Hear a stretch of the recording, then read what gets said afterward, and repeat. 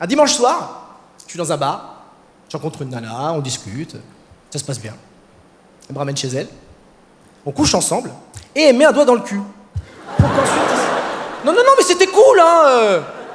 C'était pas...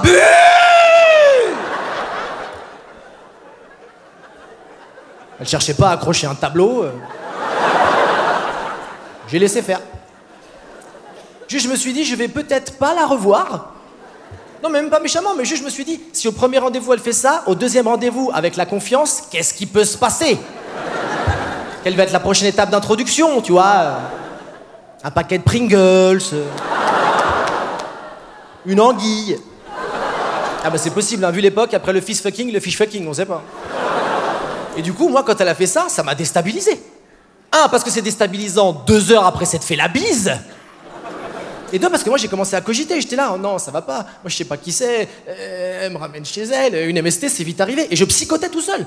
J'étais pas bien, j'étais là, mais non, mais pourquoi? Moi, je, je sais pas qui c'est. On est là, chez elle. On sait pas où il allait, ce doigt, avant. Ça se trouve, elle a écouté de la musique, elle a touché un CD de Queen, et maintenant, je suis foutu. Quand t'es en panique, tu penses bizarrement. Me jugez pas, d'accord? Et vraiment, j'étais pas bien, quoi. Mais bon, c'est cool, j'ai rien chopé. Bonne nouvelle. Mais, il faut savoir que ce qui s'est passé dans la deuxième partie de la soirée était beaucoup plus surprenant que la première partie. Qui l'eût cru? Donc on continue de coucher ensemble. Elle commence à me sucer. Et là, elle a pris ma bite et elle a fait ça.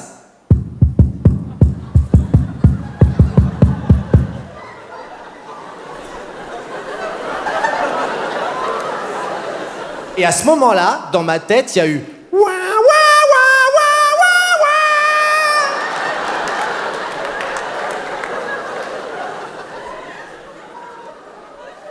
Qu'est-ce qui se passe? Elle essaie de communiquer en morse avec moi À cause de mon humour, euh, une fois j'ai failli tuer une fille. Je sens qu'il faut que je vous en dise un peu plus, pardon. Non, j'ai senti. Non, en fait, euh, j'ai fait quelque chose avec une fille et j'ai appris que quelques jours plus tard que j'avais mis ses jours en danger. Ok, je sens qu'il faut que dise encore un peu plus, pardon. Euh, en fait, j'étais avec des potes, on discutait et on disait plein de bêtises et il y a un de mes potes qui dit Est-ce que vous saviez que si tu souffles dans le vagin d'une fille, tu peux la tuer? Et là, tous mes potes éclatent de rire, sauf moi qui suis immédiatement très inquiet et qui commence à googler frénétiquement. Et c'est vrai, je vous jure, vérifiez en sortant. Je suis pas tout bib, j'ignore comment c'est possible. J'ai vu qu'il y avait plus de risques si t'es enceinte et je pense que faut y aller un moment quand même. Mais. Mais c'est possible, tu peux tuer une fille en lui soufflant dedans. Et moi, quand j'ai appris ça, la première chose que j'ai fait, c'est d'envoyer un message à une fille pour savoir si elle allait bien. Oui, ok, faut que je vous dise encore un peu plus. Euh, en fait, je vais pas vraiment souffler dedans, mais bon, je vais tout vous raconter. Euh, J'étais avec une fille euh, dans ma chambre, si, et, euh, et j'étais content, bah, déjà parce qu'elle était là, et, euh, parce qu'elle était là de façon bénévole. Non, bénévole, c'est pas le mot. Bénévole, on dirait que ça fait Croix-Rouge. Non, mais bref. J'étais avec cette fille, ça, se passait bien, et, je m'apprêtais, comme on dit en Bretagne, à lui déguster la moule, son couteau fourchette, quand... ah, on dit pas ça en Bretagne, Moi, je pense qu'il devrait commencer. Euh, et oui, et puis j'avais mis de la musique, ça c'est important, parce que moi j'habite en colocation, et à ce moment-là, mon colocataire était au salon, et c'est pas pour me vanter, mais parfois avec moi, les filles, elles font un peu de bruit. Euh, bon, en général, ce bruit, c'est, tu sais Thomas, c'est pas grave, ça arrive à tout le monde. Mais j'ai mis de la musique, j'ai mis, euh, mis la radio, et donc au bout d'un moment, il y, y a une musique qui passe, qui, qui pour moi est un chef-d'œuvre de la musique contemporaine, c'est Wrecking Ball de Miley Cyrus. Moi, j'adore cette chanson. Et il s'avère que je connais les paroles euh, de cette chanson. Et moi, quand je connais les paroles, j'aime bien chanter. Sauf que là, j'avais un peu la bouche occupée. Donc j'hésitais. Mais le temps pressait, parce qu'elle était en train de se rendre compte de quelque chose. Et surtout, le refrain arrivait. Et je connais pas du tout le deuxième couplet. Donc il fallait vraiment que je prenne une décision rapide. Et en tant que bon Suisse empreint de neutralité, je suis, a- je suis arrivé à un compromis. Euh, j'ai continué ce que je faisais. Mais j'ai chanté quand même. Et ça donnait I came in like a wrecking ball. Never been so hard in love. Et ça, c'est une tentative d'homicide. Je ne l'ai pas dit à ma femme que j'avais pris du Viagra parce qu'elle n'était pas là.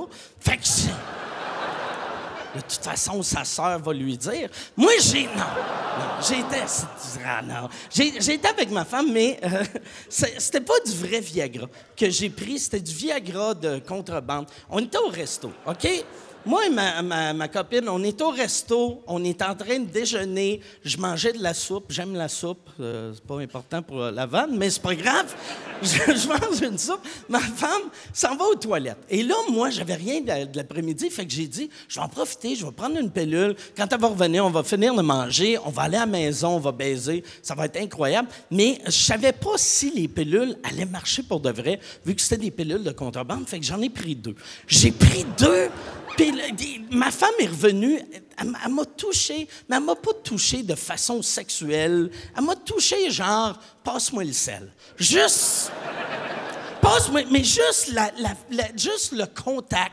J'ai, pogné une érection, j'ai bandé, puis j'étais pas euh, super bandé, mais j'étais quand même trop bandé pour un gars qui mange une soupe. Fait que là, moi, j'ai, là, j'ai fait, je regarde des soupes, j'ai fait, OK, il faut, il faut s'en aller, il faut s'en aller. Puis là, ma femme était comme, je suis en train de manger, puis j'ai fait, mets, ta soupe dans ton sac à main.